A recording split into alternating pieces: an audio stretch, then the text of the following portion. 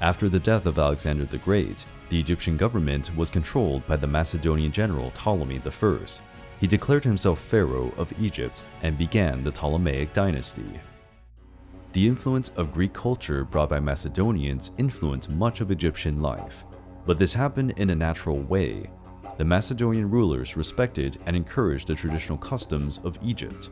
Over the years, pharaohs of Macedonian origin were represented as Egyptians.